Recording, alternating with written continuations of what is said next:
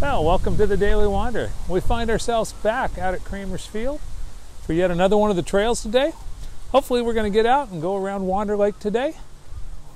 We've had rain for about two weeks now, so this is one of the first opportunities we've had to get out and continue to explore the Creamer's Field Migratory Bird Refuge area. So come on along. We're going to head down the trail now.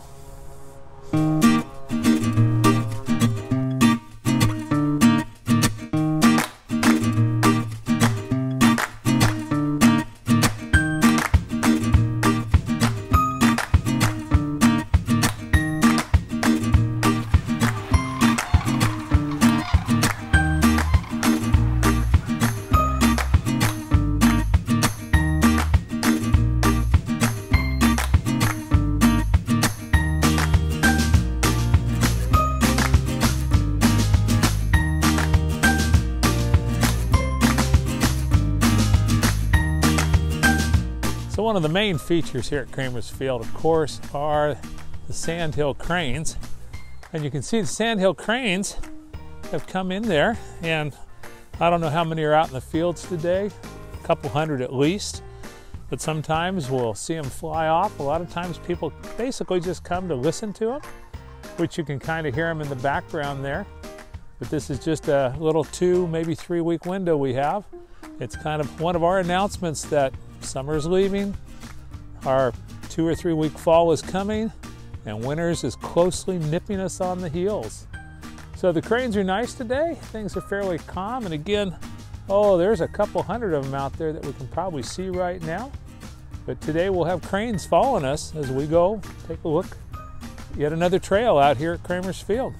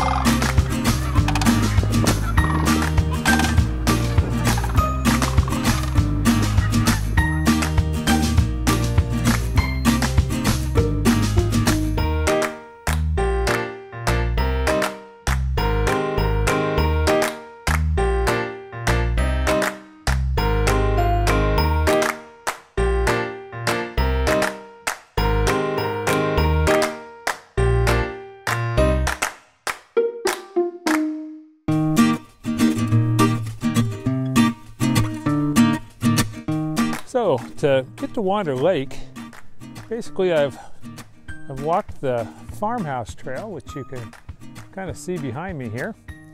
And instead of going around the field this time, we're going to be going up and going through the trees here and going back to the Wander Lake area. Now the difference between the Wander Lake area is the Wander Lake is not actually owned and managed by Creamer's Field. It's in fact owned and managed by Wedgewood Manor, which is an apartment complex. Also works as a hotel, a lot of tourists coming through, but they have seen fit to reclaim an old gravel pit and make it into what we now call Wander Lake. And they have a nice maintained trail that goes around the lake that they actually keep going even in the winter. So nice place. Birds come through there too, not quite in the same fashion as Creamer's Field, but again, it's another little extension that you can do out here at the refuge, which gives you an ability to go around a lake, see a few different species, and if nothing else, to go around a lake instead of the fields. So we're gonna head on down this trail head through the trees and go around Wander Lake now.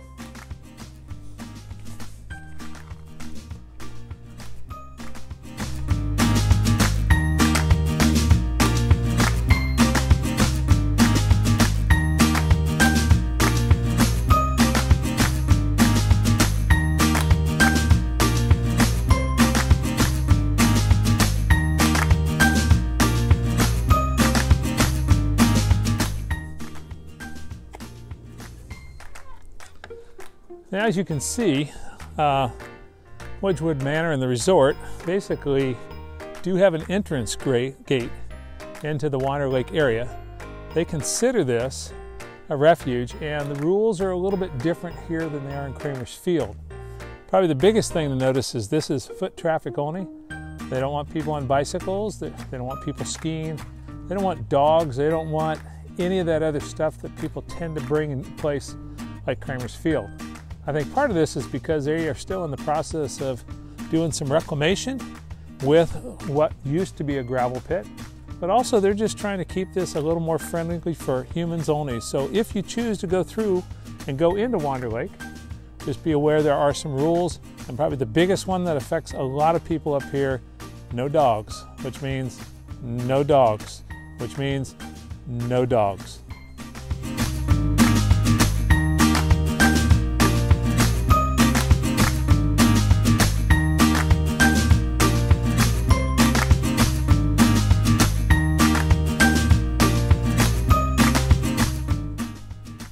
Another nice feature that they've installed out here, and I guess just because I enjoy coming out and seeing the birds at various times of the year, and we can actually hear at this time the sandhill cranes flying overhead.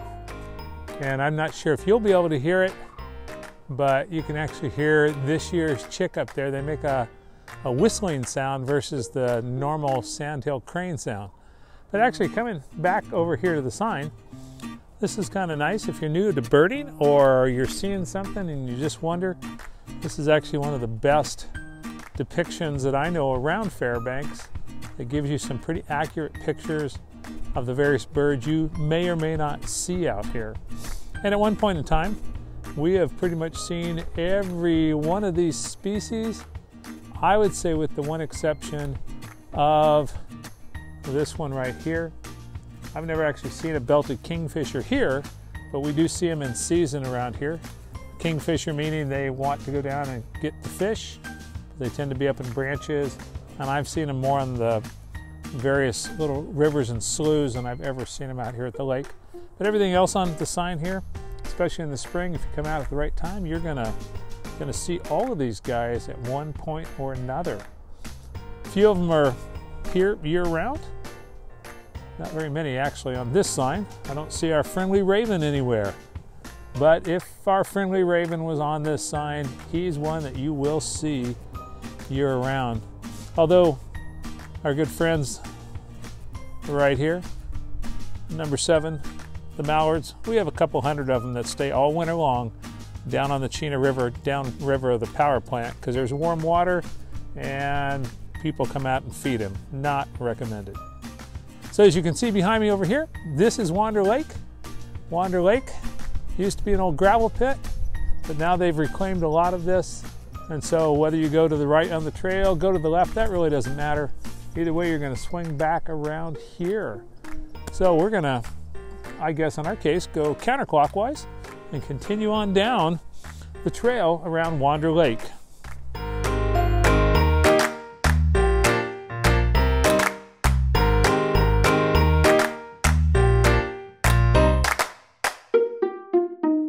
So, like I mentioned earlier in the video, they've just done an outstanding job out here of putting up interpretive signs. And this one's kind of, well, this is just kind of an interesting one because you can't really read it. You're probably a little too far away, though I can kind of zoom in a little bit. But they're basically talking about the migration patterns of some of these species we see up here. So the swans, which we typically see in the spring, underneath that there's a Pacific loon, which we don't see a lot of Pacific loons in the interior of Alaska, but I have seen one, and we'll see those out by the coast. But the lesser yellowlegs that are down below there, that golden plover, which is just a treat to see, And then my actually favorite bird that I take pictures of is right down here. And these are these Arctic terns.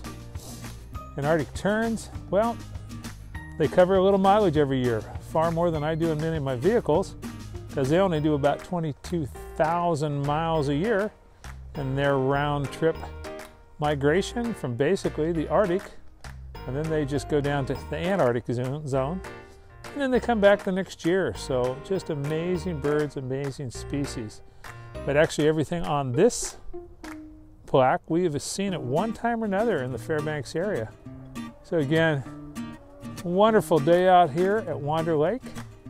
We couldn't ask for better weather just because, boy, it's been raining for about two weeks. And now we've got nice sunny blue skies.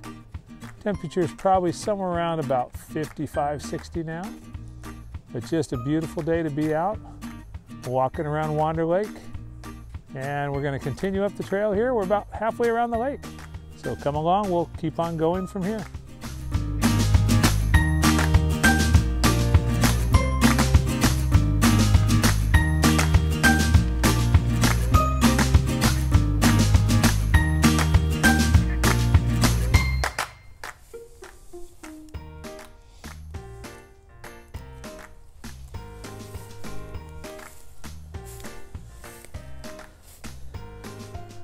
So, in one of my earlier videos, I mentioned Alaska fireweed, and we referred to it as the Alaska thermometer.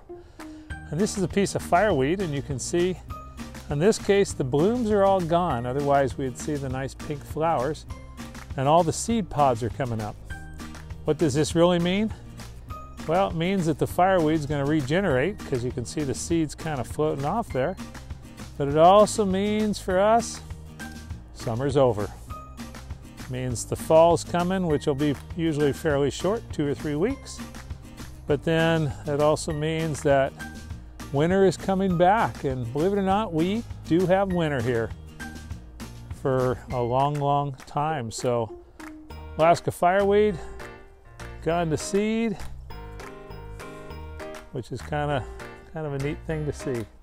So we're helping spread fireweed not that we need more, but we're going to get a little more out of this one.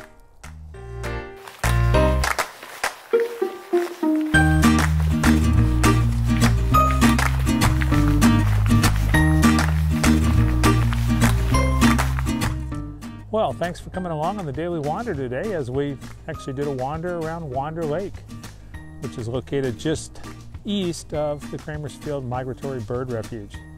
Again, this refuge is maintained by Wedgewood Manor and Resorts, and they do have a few rules, so we would ask that you kind of keep those in mind. And the big one really is just the no dogs and no bikes. But a beautiful day today. I'm not sure how long that trail is, maybe a mile, mile and a half. By the time we get back to the bird refuge, we'll probably have a three, three and a half mile walk in us. But it's all level, it's all flat. Depending on the time of season will depend on what kind of wildlife or birds you might find but another beautiful trail here in Fairbanks, Alaska. Again, thanks for coming along on the Daily Wander. I look forward to more videos in the future.